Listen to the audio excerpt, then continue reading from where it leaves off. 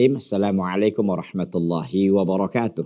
Alhamdulillahi rabbil alamin hamdan kathiran tayyiban mubarakan fihi kama yuhibbu rabbuna wa yardahu.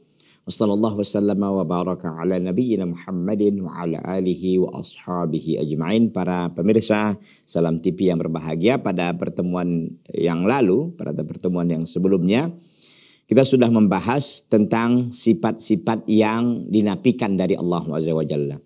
Sifat-sifat yang dinafikan dari Allah Azza wa Jalla itu datang terkadang dalam bentuk umum dia. Jadi penafiannya umum. Jadi seperti firman Allah Azza wa Jalla, "Laisa kamitslihi syai'un." Tidak ada ya yang semisal ya dengan Allah Azza wa Jalla sesuatu apa pun. Ya. Jadi kalau kita eh, datang contohnya ke raja, kita katakan wahai raja, uh, tidak ada yang seperti engkau. Tidak ada yang uh, seperti engkau kekuasaanmu apamu gitu kan. Itu uh, umum ya. Tidak ada yang seperti engkau wahai raja. Ini umum penapiannya bahwa memang tidak ada yang seperti raja ini bahwa dia hebat dia kokoh dia ini gitu kan. Tapi ada juga uh, apa namanya nih penapian itu kita katakan uh, dalam bentuk uh, apa ya rincian ya perincian ya perincian. Tapi itu dikatakan oleh Syekh Muhammad Al di sini kalau dia datang penapian sifat itu dirinci satu-satu disebut berarti ada sebab. Contoh dalam firman Allah mattakhadallahu miwalad dalam surah Al-Mu'minun ayat 91. Ketika Allah SWT mengatakan mattakhadallahu miwalad, Allah SWT tidak memiliki anak, ini tentu bantahan bagi mereka-mereka yang mengatakan Allah SWT memiliki memiliki anak. Ya, begitu juga dalam firman Allah dalam surah Qaf ayat yang ke-38 Allah Azza wa Jalla berfirman walaqad khalaqnas samawati wal arda fi sittati ayamin walaqad khalaqnas samawati wal arda wa ma bainahuma fi sittati ayamin wa ma massana min lughub kami telah menciptakan langit dan bumi dan apa yang di antara keduanya dalam enam hari dan kami tidak ditimpakan oleh letih tidak dikenai ya tidak ditimpakan oleh letih lelah dan sebagainya gitu ini radun juga menolak ya eh, kepada mereka-mereka mengatakan Allah Jalla itu butuh istirahat, lelah dan seterusnya dan seterusnya. Jadi penapian itu datang dalam dua makna, dalam dua versi, bisa versi secara umum penapian itu atau secara khusus tetapi karena ada satu sebab ya. Ah begitu. Dan kita katakan pada pertemuan yang sebelumnya sebagaimana disyarahkan oleh Syekh bahwa penapian itu kalau penapian hanya penapian ya ada penapian terhadap satu sifat dari Allah bahwa Allah tidak begini begitu kan? Itu kalau hanya penapian saja itu tidak mengandung kesempurnaan bagi Allah. Tapi ketika dinapikan memiliki ada penetapan makna dari lawan katanya. Contoh Allah SWT tidak ditimpa oleh tidur dan ngantuk. Itu menunjukkan apa? Kesempurnaan kehidupan Allah. Atau ya dalam ayat lain dikatakan ya wala yazlimu rabbuka ahadan dalam surah Al-Kahfi ayat yang ke-49 dan Rabbmu tidak menzolimi salah seorang pun. Ini menunjukkan apa? Likamali adli. Karena kesempurnaan keadilan Allah Azza wa Jalla. Ya. Begitu juga dengan firman Allah Azza wa Jalla, "Wa mallahu bighafilin amma ta'malun" dan tidaklah Allah itu lalai dengan apa yang mereka dengan apa yang kamu kerjakan. Ini menunjukkan apa? Kesempurnaan tentang ilmu Allah dan pengawasan Allah Azza wa Jalla. Jadi tidak hanya penapian tok dia tidak, tapi penapian yang diiringi dengan penetapan lawannya. Ya, diiringi dengan penetapan lawannya gitu. Tadi kan dinapikan nih tentang bahwa Allah tidak lalai. Berarti tetapkan dong lawan dari kata lalai itu sendiri dan itu menjadi kesempurnaan bagi Allah sendiri. Apa kesempurnaan? Apa lawan kata daripada lalai itu?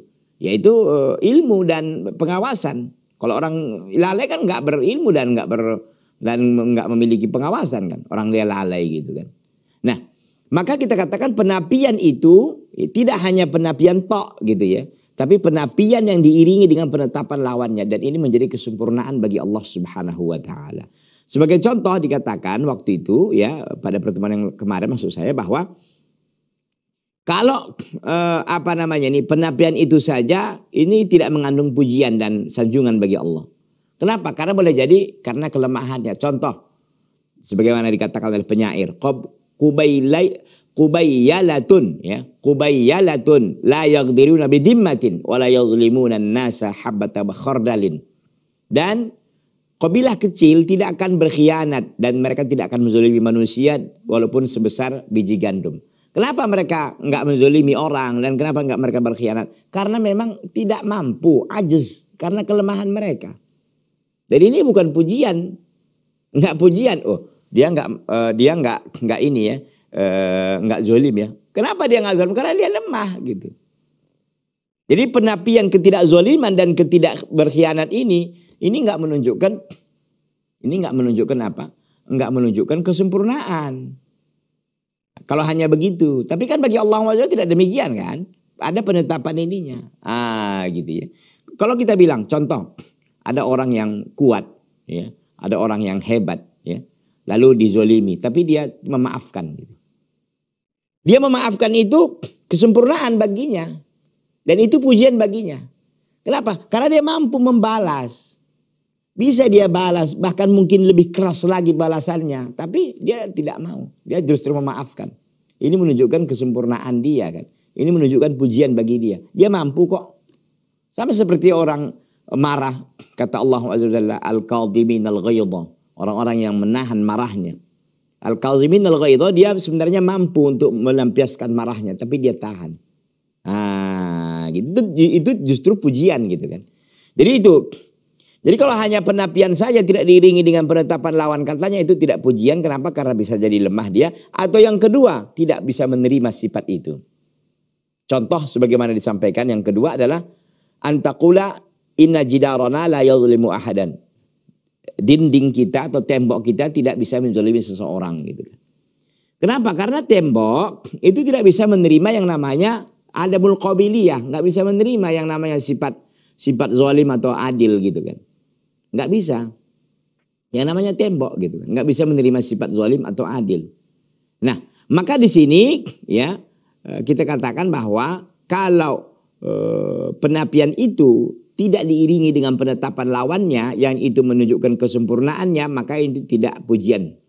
Tapi bagi Allah Azza semuanya adalah penapian itu pastilah diiringi dengan penetapan lawan katanya dan itu menunjukkan kesempurnaan ya Allahu azza wa jalla. Ikhwati fillah, azani Allah taala wa iyyakum jami'an para pemirsa Salam TV yang berbahagia. Ini yang bisa kita sampaikan terkait dengan eh, pertemuan kita yang lalu. Kita lanjutkan ya pertemuan kita kali ini kita baca dulu apa yang disampaikan oleh Syekh Muhammad bin Shalih Al Utsaimin rahimahullahu taala rahmatan wasi'atan. Wal wajibu alaina nahwa hadhihi sifat allati asbataha Allah azza wa nafsihi wallati nafaha an naqula sami'na wa saddaqna wa amanna. Dan kewajiban kita terhadap sifat yang Allah tetapkan untuk dirinya dan yang telah Allah nafikan dari dirinya, kita mengatakan sami'na kami mendengar, wa saddaqna dan kami benarkan, wa amanna dan kami imani. Tiga ini aja. Kita dengar, oke, okay, kita benarkan, ya, dan kita imani. Nah, ini dia tiga ini aja. Kita benarkan, ya kita dengar, kita benarkan dan kita imani. Selesai. Udah. Ah, gitu ya. Hadihi hiya sifat, inilah dia sifat-sifat. Fiha musbatun wa fiha mampiun. Ada sifat yang ditetapkan dan ada sifat yang dinafikan. Itu kan. Amal asma fakulluha musbatatun. Adapun nama-nama Allah maka semuanya adalah musbatah. Itu semua ditetapkan. Jadi kita tidak bicara sifat man, uh, asma manfiyah, asma musbatah, enggak. Semuanya nama ditetapkan. Lakinna asma Allah Ta'ala al-musbatah min ma yadullu ala makna ijabi wa min ma yadullu ala makna salbi. Tapi nama-nama Allah SWT ditetapkan itu, semua kan nama Allah ditetapkan ya. Tidak ada yang bagi dibagi-bagi gitu ya. Tidak tidak ada yang dibagi-bagi dia manfiyah, dia musbatah, tidak. Semua nama-nama Allah adalah musbatah ya yang menunjukkan ya terkadang nama-nama musbatah itu menunjukkan ijabi yang positif. Ijabi yang ditetapkan gitu ya. Yang ijab, yang dia menerima, yang ditetapkan gitu. Tapi ada juga nama-nama yang menunjukkan makna salbi. Yaitu makna e, salbi itu artinya e, ada yang negatif gitu. Maknanya dalam pengertian negatif itu bukan maknanya tapi madelulnya gitu. Yang di yang ditujukannya itu, ya. Nanti kita lihat lengkapnya bagaimana. Wahada huwal marudu taksim bin nafi wal isbat binisbatil asma'illah. Inilah yang datang pembagiannya dalam nafi dan isbat terkait dengan nama-nama Allah Azza wa Jalla. Jadi saya sampaikan bahwa sifat Allah Azza wa Jalla ada yang musbatah dan ada yang manfiyah, ada yang ditetapkan dan ada yang dinafikan. Satu. Sementara nama-nama Allah Azza wa Jalla itu tidak ada taksimnya, tidak ada pembagiannya. Semuanya nama-nama Allah adalah musbatah. Ah gitu. Tetapi dari sisi makna, dia memiliki dua makna nama-nama Allah ini. Ada yang maknanya makna ijabi dan ada yang salbi. Ah, hanya inilah pembagiannya terkait dengan napi dan isbatnya. Penapian dan penghilangan itu bukan namanya itu tapi madalulnya ya dari sisi maknanya. Ah gitu. Kita lihat apa bagaimana ininya kita lihat. Pamisalul lati madululuha ijabi kathir. Adapun e, contoh yang madululnya yang ditunjukkannya itu bersifat positif itu sangat banyak. Semua nama-nama Allah Jalla. Itu rata-rata ijabi. Penetapan e, nama itu positif. Ya. Allah mendengar ya mendengar gitu. Ya Allah Sami maha mendengar ya mendengar gitu kan. Madululnya kan mendengar gitu ya. Wa misalul lati madluluha salbi. Adapun contoh yang yang yang penunjukannya bersifat negatif dalam pengertian adalah di uh, apa namanya ini uh, pensucian bagi Allah Azza sendiri. Contoh assalam. Wa makna assalam qala ulama maknahu assalim min kulli aibin. Salam maknanya adalah salam. Dan maknanya kata para ulama adalah asalim min kulli aibin yaitu zat yang maha selamat dari semua aib. Ha, kan? Nama Allah assalam. Maka ada orang bernama Abdus Salam gitu kan. Assalam itu maknanya asalim, zat yang maha e, selamat dari semua aib. Ah, gitu ya. Berarti kan madlulnya kan, madlulnya yang ditunjukkan itu kan menunjukkan e, salbinya bahwa Allah SWT dinapikan dari semua yang namanya aib. Idan oleh karena itu pamadulu salbi maka yang ditunjukkannya itu sifatnya salbi itu penapian. Bermakna laisa fihi naqsun wala aib. Maksudnya bahwa salbi di sini maknanya bahwa salim di situ menunjukkan bahwa Allah SWT tidak ada kekurangan dan tidak ada aib di dalamnya. Itu namanya as-salam maknanya as-salim. Maknanya as-salim. As-salim artinya yang selamat dari semua aib dan kekurangan. Nah itu dia. Jadi madlulnya Madulnya itu penapian terhadap segala sifat, eh, terhadap segala kekurangan dan terhadap segala aib. Jadi madalulnya yang ditunjukkannya itu assalam, maknanya assalim yang berarti uh, selamat, yang maha selamat. Yang maha selamat dari mana? Dari semua kekurangan dan aib. Wa kadzalikal quddus qaribun min makna salam. Begitu juga dengan al-quddus itu kan nama Allah. Al-quddus ya.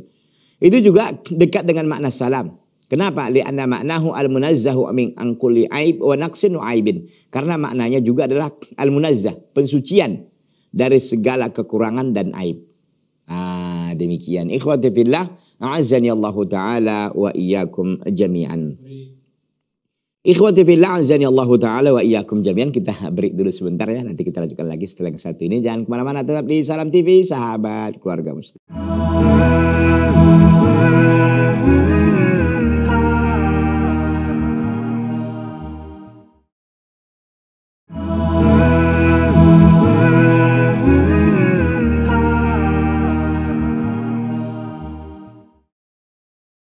Ikhwati fillah azani Allah taala wa iyyakum jami'an. Jadi intinya bahwa uh, terkait dengan nama-nama Allah semuanya adalah musbatah, tetapi dari sisi makna dia bisa ijabi dan bisa salbi. Ijabi artinya penetapan, penetapan yang bersifat positif bagi Allah. Ya. Sementara uh, salbi artinya madalulnya yang ditunjukkan itu terkadang adalah Uh, menghilangkan atau menapikan semua aib dan kekurangan bagi Allah SWT. Contoh tadi ada As-Salam dan ada Al-Quddus. Ini nama-nama Allah SWT semua yang menunjukkan Al-Quddus madlulnya penunjukannya berarti semuanya adalah uh, bersih. Tidak ada dari Allah SWT itu, tidak ada pada Allah itu kekurangan dan juga tidak ada aibnya. Fasarat ibaratul muallifi salimatan wa sahihatan. Maka jadilah ungkapan muallif, ungkapan Syekhul Islam Ibnu Taimiyah rahimahullah itu selamat dan benar. Salimatan selamat dan benar. Wa huwa la yuridu binisbati lil asma. Sementara dan Syekh Syekhul Islam kata Syekh Muhammad Shalih Al-Utsaimin, beliau tidak menghendaki sebenarnya hal itu kepada asma. Ana hunaka asma manfiyah bahwa di sana ada nama-nama yang dinafikan li'annal ism al-mampi laisa bismillah. Ya karena nama-nama yang dinafikan itu bukan nama-nama Allah. Lakin muraduhu anna madlulati asma'illahi thubutiyah thubutiyatan wa salbiyatan. Tapi yang dimaksudkan oleh Syekh Ibnu Taimiyah terkait dengan nama-nama Allah antara nafi dan isbat gitu kan itu bukan dari sisi ini nama Allah, ini bukan nama Allah, bukan dari situ sisinya, bukan dari situnya, tetapi yang dimaksudkan penapian dan pengisbatan itu terkait dengan madlulnya, penunjukan namanya.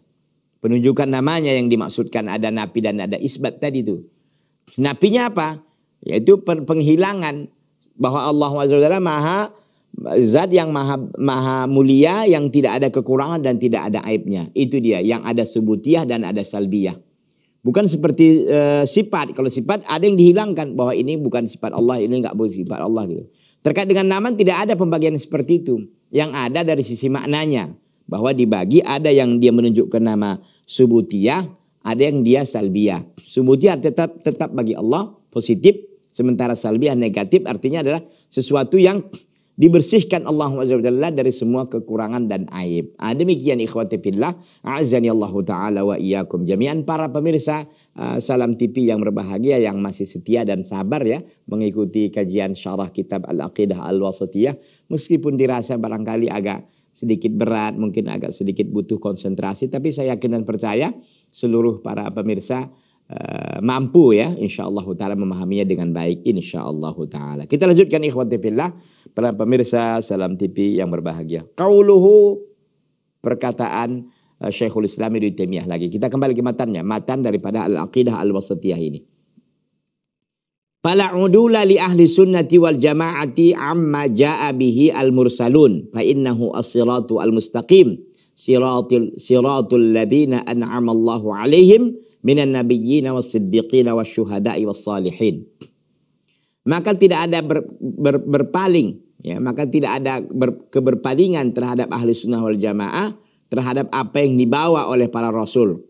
Maka sesungguhnya itu adalah jalan yang lurus, jalan orang-orang yang Allah telah beri nikmat mereka dari kalangan para nabi dan para siddiqin dan syuhada dan salihin.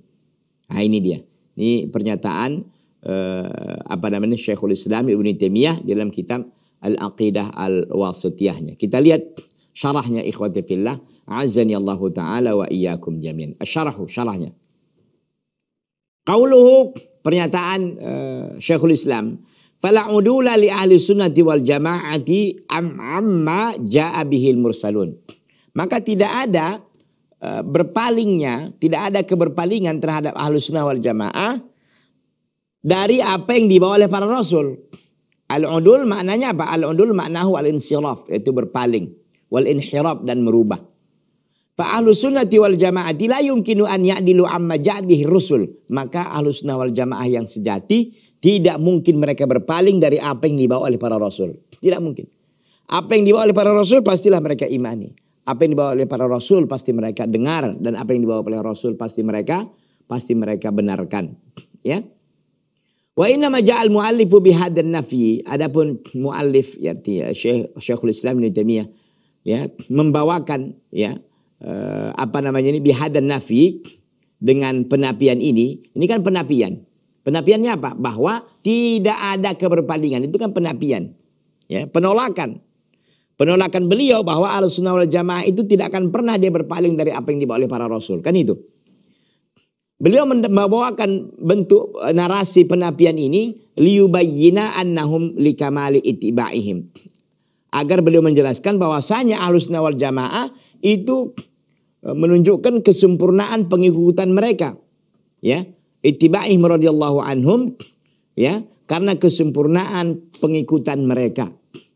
Karena mereka sangat sempurna mengikuti ya ini para rasul ya, maka uh, Syekh Ibnu Taimiyah mengatakan la udula, tidak ada ada keberpalingan. Tidak ada berpaling.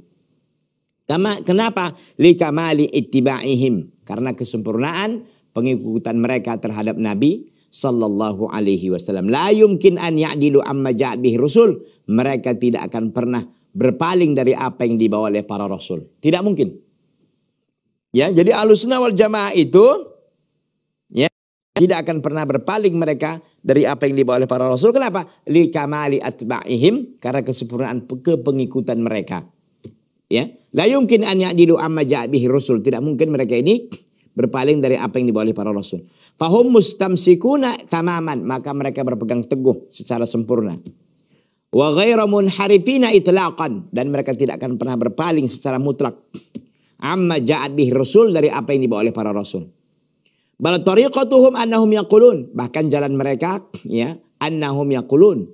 Bahkan tariqah atau cara mereka annahum yaqulun mereka mengatakan sami'na wa ata'na fil ahkam. Kami mendengar dan kami patuhi fil ahkam dalam hukum wa sami'na wa saddaqna fil akhbar dan kami juga dengar dan kami benarkan tentang berita.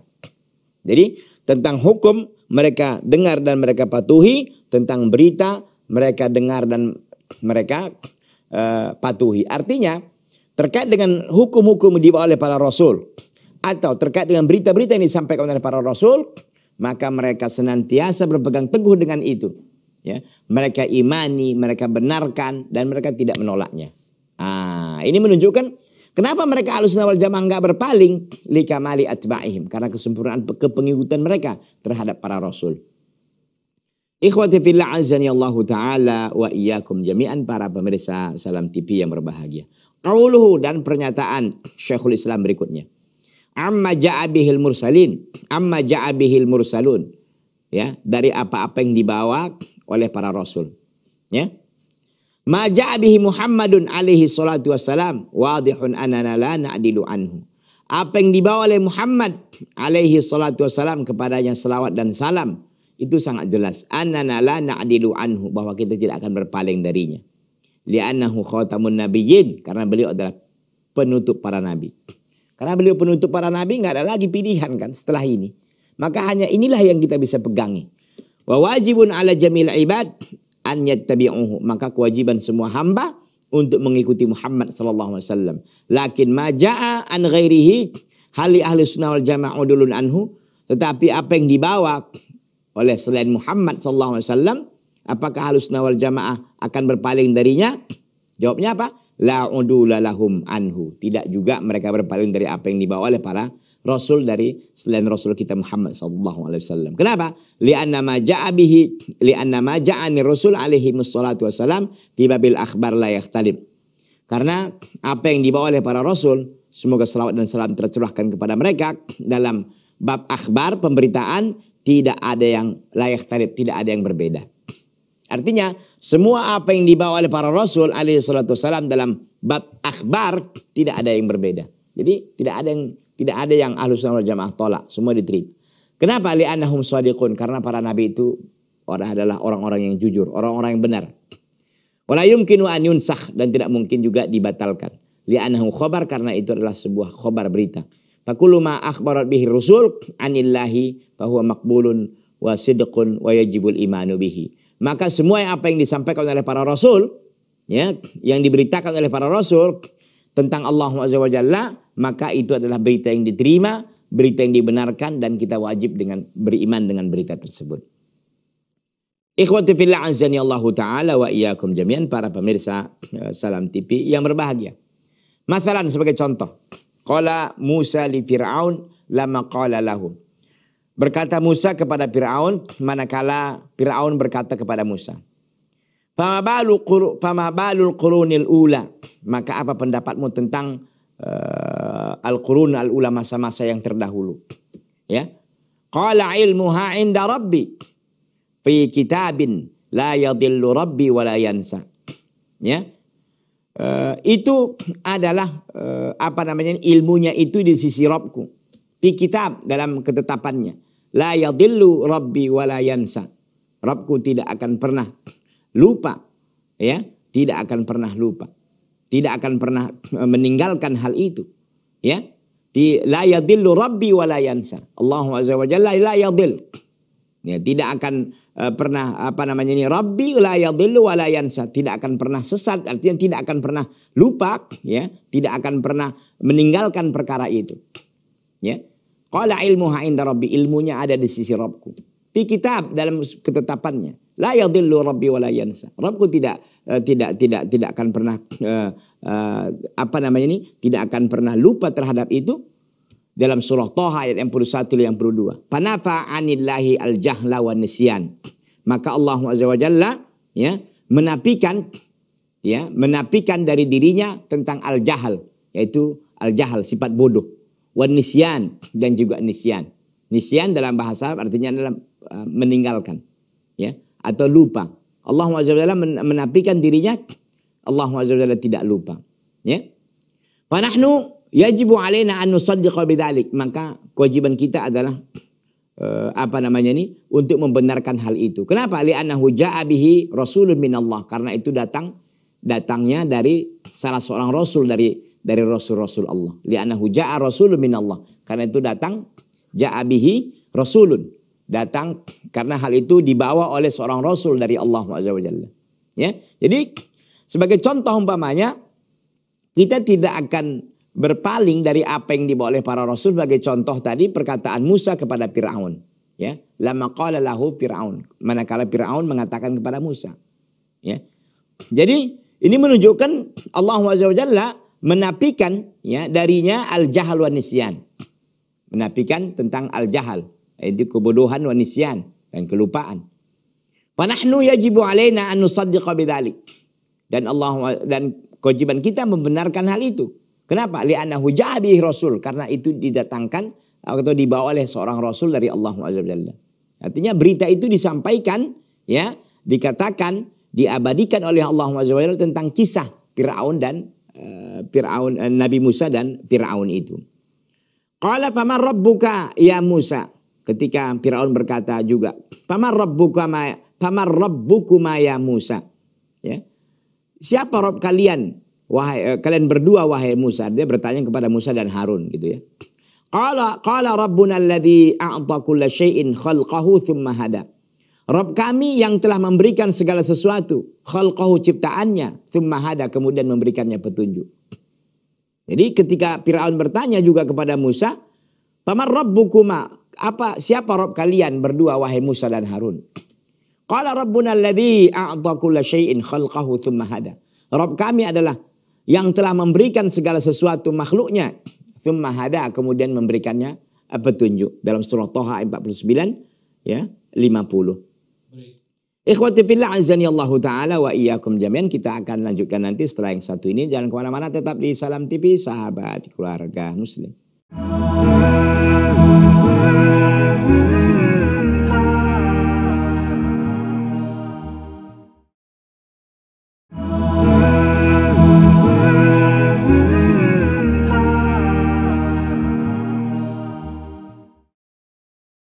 Ikhwati azani Allah taala wa iyyakum jami'an. Jadi segala yang dibawa oleh uh, para rasul itu dari berita-berita yang ada ya dan hukum-hukum ini uh, terutama yang dibahas sini adalah terkait dengan akhbar ini tidak ada ahlus wal jamaah untuk berpaling darinya. Semuanya kita terima, kita imani dan kita benarkan. Sebagai contoh tadi di dalam firman Allah Azza wa Jalla terkait dengan uh, dihikayatkan ya tentang kisah Nabi Musa dan Firaun ya. Ketika Firaun berkata kepadanya pama balu qurunil ula? Maka bagaimana uh, pendapatmu wahai Musa tentang masa-masa yang lalu artinya umat-umat yang terdahulu. Maka bagaimana pendapatmu tentang umat-umat yang terdahulu? Qala ilmuha inda rabbi. Ya maka Musa menjawab pengetahuan tentang itu ada di sisi Rabbku fi kitabin dalam ketetapannya dalam Eh, lahul mahfuznya. La yadillu rabbi wa la yansa. Allah SWT tidak akan pernah meninggalkan hal itu dan tidak akan pernah lupa. Nah gitu kan. Maka Allah SWT menafikan dari tentang kejahilan dan nisyan di sini. Maka kita wajib mengimaninya. Begitu juga dengan firman Allah SWT. Qala faman rabbukuma ya Musa. Siapa Rabb kalian berdua wahai Musa? yakni Musa kepada Harun. Qala rabbuna alladhi a'da kulla syai'in khalqahu thumma hada. Rabb kami yang telah memberikan segala sesuatu itu ciptaannya, telah memberikan segala sesuatu kepada ciptaannya, thumma hada, kemudian memberikan petunjuk. Surah Toha ayat yang 49 450. Surah Toha 49 dan 50. Kalau sa'al nasailun, kalau sa'ala nasailun, kalau ada yang bertanya kepada kita. Falau sa falau sa'alana sa'ilun. Kalau ada yang bertanya kepada kita. Minena alimna anna Allah a'ta kulla syai'in khalqahu. Dari mana kita ketahui bahwa Allah Azza wa Jalla telah memberikan segala sesuatu kepada makhluknya. Kan dalam ayat ini jelas tadi dikatakan. Ya. Rabbuna alladhi a'ta kulla syai'in khalqahu thumma hada. Rabb kami yang telah memberikan segala sesuatu kepada makhluknya thumma hada kemudian memberikannya petunjuk. Jadi kalau ada yang bertanya, dari mana kita ketahui bahwasanya Allah Azza wa memberikan segala sesuatu kepada makhluknya. Dari mana kita ketahui? Panaqulu maka kita katakan. Min kalami Musa. Dari kalam Musa. Ya. Fanu'minu bidzalik. Maka kita uh, beriman dengan itu. Kan Musa mengatakan ini yang diabadikan oleh Allah Azza wa dalam Al-Quran. Nah kan itu. Fanu'minu bidzalik. Nah kita beriman dengan hal itu. Wa naqul dan kita mengatakan. Allah Azza memberikan segala sesuatu makhluknya yang layak kepada makhluk tersebut. Maka Syekh menjelaskan berikutnya, Syekh Muhammad Salih Uthaymin. Fal insanu ala hadal wajah. Maka manusia berdasarkan bentuk ini. Wal, ba wal ba'iru ala hadal wajah. Fal ba'iru ala hadal wajah. Maka uh, unta berdasarkan bentuk ini. Kalau manusia bentuknya begini-begini, ya yang layak memang dia manusia gitu kan. Sementara unta begitulah bentuknya yang dia layak sebagai seorang unta gitu kan. Sebagai seorang uh, sebagai uh, hewan unta gitu. Wal baqarah ala hadal wajah dan juga sapi berdasarkan bentuk ini. Wadda'nu ala hadal wajhi dan domba juga seperti ini bentuknya. Thumma hada kulla makhluqin ila masalihihi wa manafi'ihi. Kemudian Allah memberikan petunjuk kepada semua makhluknya terhadap hal-hal kemaslahatannya dan juga hal-hal yang memberikan manfaatnya. Jadi, artinya Allah Jalla memberikan petunjuk kepada semua makhluknya terhadap perkara-perkara untuk kemaslahatan diri makhluk tersebut dan untuk perkara-perkara yang bermanfaat untuk makhluk tersebut. Bagaimana kita lihat? Fakulu syai'in kata Syekh, maka segala sesuatu ya'rifu masalihahu wa manafi'ahu. Maka segala sesuatu ya dari makhluk ini mengetahui tentang kemaslahatan untuk dirinya dan manfaat untuk dirinya. Kita lihat. Panamlah fi ayami saif. Maka seekor semut di hari-hari panas. Tudakhiru qutaha fi juhuriha. Sedang panas hari cuaca lagi kemarau gitu kan. Seorang mau, kita lihat ini, mau kita uji bahwasanya Allah Azza telah memberikan petunjuk kepada semua makhluknya sehingga makhluknya itu mampu untuk hidup dan memberikan kemaslahatan atau mencari kemaslahatan untuk dirinya. Nah, kita lihat kalau manusia udah udah jelas lah. Kita lihat contoh lain dari makhluk yang lain. Contoh panamlah katanya sebagai contoh semut. Di ayami saif di hari-hari kemarau. Tudakhiru qutaha fi juhuriha. Maka kalau semut ya, kita bisa perhatikan semutnya. Semut itu kalau lagi lagi musim kemarau dia menyimpan makanan makanan pokoknya itu fi juhuriha di lubangnya. Jadi kalau lagi kemarau gitu ya, eh, cuaca panas, dia pergi keluar mencari makanan lalu dimasukkan ke uh, lubangnya. Taib. Walakin la tudakhir al-hubba kama huwa. Tapi dia tidak me, tidak menyimpan biji-bijian sebagaimana adanya enggak. Jadi kalau ada biji umpamanya kan biji padi atau biji biji apalah gitu ya yang kecil-kecil yang bisa dia bawa tidak disimpannya sebagai bentuk biji. Bal uh, taqtumuru usahu bahkan dia memotong kepalanya. Li alla yambuta agar tidak tumbuh. Ah, gitu. Ini siapa yang memberikan uh, pengajaran ataupun cara seperti ini? Siapa lagi kalau bukan Robnya itu Allah Azza. Ah gitu kan. Jadi semut ya, ada semut. Jadi kalau memang ada biji-biji kita katakanlah biji sawi atau biji apa yang diambil waktu musim panas lalu dia bawa ke e, lubangnya, tapi dia potong dulu nih kepalanya itu supaya nggak tumbuh katanya. Memang kan kita tahu kan kalau kepalanya dicopot itu nggak akan tumbuh dia lagi. Ah gitu Masya Allah. Siapa yang mengajarinya kalau bukan Allah fasada 'alaiha. Karena kalau sungguhnya kalau dia tumbuh maka itu sungguh rusak di atasnya. Dia nggak akan bisa lagi dimakan dan sebagainya kan. Ah gitu. Dan lalu bagaimana? Wa idza ja'al matar kalau sudah datang musim hujan wa batalla hadzal al habbu dan basahlah biji-bijian ini alladhi wada'anhu fil hujur yang semut telah meletakkannya di dalam uh, lubangnya tadi fa innaha la tubqihi ya'kuluhu al-afnu war raihah maka semut pun tidak akan meninggalkannya meninggalkan biji tadi ya da, dimakan oleh kebusukan dan bau artinya tidak ditinggalkan begitu aja akhirnya dia busuk dan bau enggak bal tansyuruhu kharija hujriha bahkan dia angkat itu keluar uh, lubangnya hatta yai basa sehingga dia kering minasyams karena ditimpa oleh cahaya matahari, warih dan angin. Thumma kemudian dia masukkan lagi untuk sebagai makanan pokoknya.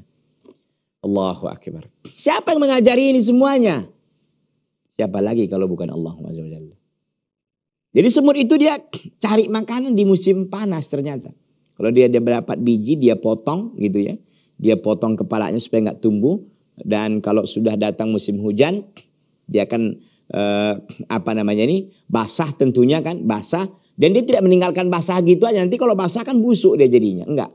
Bahkan dia keluarkan ya keluarkan ya di lubangnya. Nanti panas ya ditimpa matahari dan angin lalu dia masukkan lalu dia makan begitu kira-kira artinya mereka ini pintar mencari makanan pintar mengolah makanan pintar menyimpan makanan Allahu akbar siapa yang mengajarinya ada kita ajari dia mana ada Siapa lagi yang mengajarinya kalau bukan Allah Azza.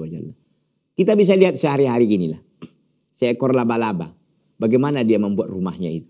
Sarang laba-laba kita sering laba-laba. Atau seekor burung. Burung membuat dalam sarangnya. Padahal modalnya modal apa? Patuk tok ya, patok ya, patok ya. Patoknya aja yang ada gitu. Tapi rumahnya sarangnya, sarang burung itu cantiknya Masya Allah. Rapi, cantik ya. Subhanallah. Bahkan ada burung-burung yang lain barangkali yang lebih cantik lagi. Ada yang sarangnya kadang-kadang di dalam pohon kayu gitu yang dipatoknya satu-satu gitu subhanallah. Ada yang sarangnya itu di atas kayu yang tinggi. Satu-satu dia bawa. Ya, dan diletakkan di tempat yang cocok gitu subhanallah. Siapa yang semua memberikan ini?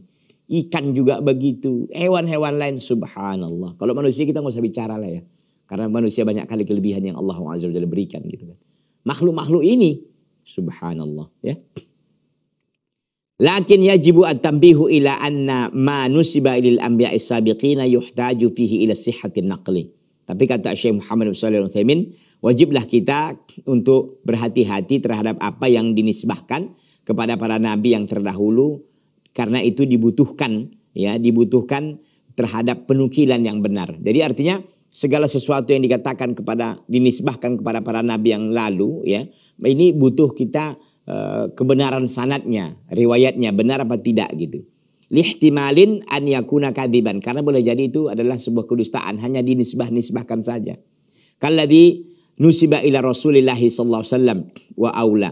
Ya. Dan seperti yang dinisbahkan atau disandarkan kepada Rasulullah sallallahu alaihi wasallam itu lebih lagi. Kenapa? Karena kita tahu kan hadis-hadis palsu banyak. Ya, tidak semua yang disandarkan kepada Rasul itu benar, kecuali sudah diperiksa oleh para ulama ahlinya, ya, para ulama al-hadis bahwa itu adalah hadis benar sahih dari Nabi sallallahu alaihi wasallam. Ah, gitu kan. Wa qauluhu wa qauluhu rahimahullah dan pernyataan Syekhul Islam rahimahullah amma ja'a bihil mursalun apa yang dibawa oleh para rasul hal yashmalu hadzal ahkam au annal kalama al-an fi babis sifat payuhtassu bil akhbar Apakah pernyataan Syekhul Islam apa yang dibawa oleh para rasul apakah ini meliputi terkait dengan hukum atau pembicaraan sekarang ini terkait dengan sifat terkait dengan sifat-sifat Allah Subhanahu atau tentang hukum-hukum saja. Fayukhtassu bil akhbar, maka ini terkait dengan berita saja kan. Kalau terkait dengan berita saja, terkait dengan asma, terkait dengan sifat-sifat saja, maka ini kan terkait uh, dengan berita kan. Ah gitu. Atau hukum juga masuk. Ah gitu. In nazarna ila umumil lafzi faqulna yashmalul akhbar wal ahkam. Kata Syekh Muhammad Shalih Al-Utsaimin, kalau kita melihat kepada keumuman lafaznya, kita katakan bahwa itu meliputi tentang akhbar berita, berarti masuk situ tentang sifat-sifat Allah dan ahkam dan juga hukum. Wa in nazarna ila siyaq, kalau kita melihat kepada bentuk uh, apa namanya ini pembawaan daripada Eh, perkataan Syekhul Islam kulna kita katakan al qarinatu taqtadi annal kalam fi babil aqaid maka petunjuk menghendaki bahwasanya ada qarinah, ada isyarat, ya, ada indikasi yang menghendaki bahwa pembicaraan itu terkait dengan akidah. Wahya mimbabil akhbar, ya, tetapi itu dan dia termasuk bagian daripada akhbar.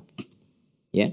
Jadi uh, di sini terkait dengan lafaz uh, Syekhul Islam Ibnu Taimiyah amma ja'bihil mursalun yang dibawa oleh para rasul ini terkait dengan uh, berita saja ya terkait dengan asma terkait dengan sifat saja atau hukum juga. Akan nah, itu. Ini ini ini yang dibahas oleh uh, Syekh Muhammad bin Shalih Utsaimin. Jadi kata Syekh kalau kita lihat ya keumuman lafaznya maka semuanya masuk.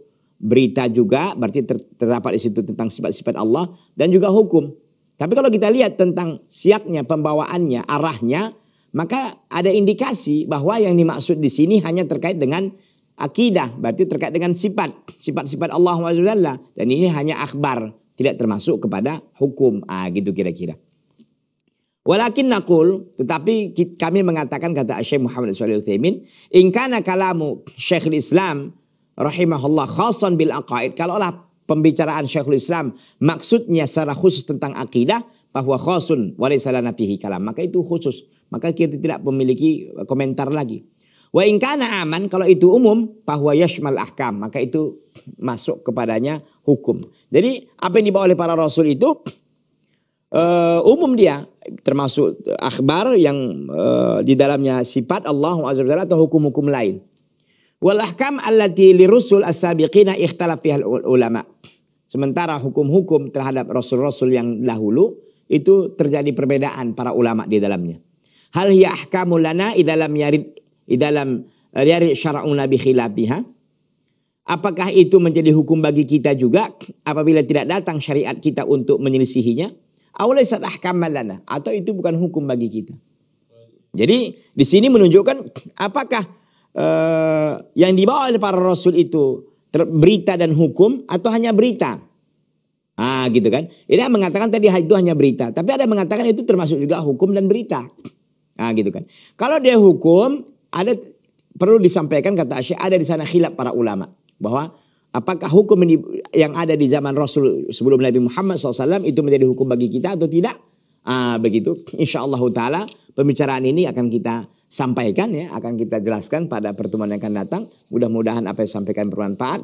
Hada wa sallallahu wasallam wa baraka ala nabiyina Muhammadin wa ala alihi wa sahbihi wasallam. Subhanaka Allahumma bihamdika asyhadu an la ilaha illa anta astaghfiruka wa atubu ilaika. Wassalamualaikum warahmatullahi wabarakatuh.